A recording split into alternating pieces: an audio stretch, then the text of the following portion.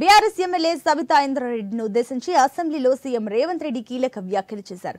మేడిగడ్డ దగ్గర బ్యారేజ్ కట్టాలన్నది కేసీఆర్ ఆలోచనే అన్న రేవంత్ ప్రాణహిత ప్రాజెక్టు చేవెళ్ళకు మారడానికి కారణం చెల్లమ్మ సబిత కాదా అని ప్రశ్నించారు. తమ్ముడు హరీష్ రావు అభ్యర్థులు అబద్ధాలు మాట్లాడుతుంటే చేవెళ్ళ చెల్లమ్మ సరిదిద్దో సరిదిద్దొద్దా అని నిలదీశారు. ఒకప్పుడు కాళేశ్వరంతో చేవెళ్ళకు అన్యాయం చేశారని సబిత ధర్నా చేశారని ఇప్పుడు సవితక్క మాట్లాడకుండా హరీష్ను సమర్థిస్తున్నారని రేవంత్ రెడ్డి ప్రశ్నించారు.